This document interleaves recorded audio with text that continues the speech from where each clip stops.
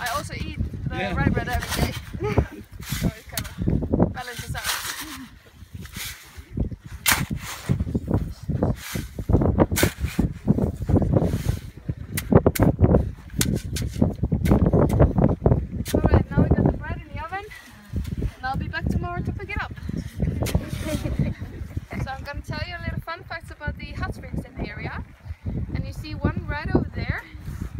this one is used to heat up the houses in this area. We of course have one in Fontana which is. And when you sit inside you can sometimes hear the going crazy and bubbling underneath you.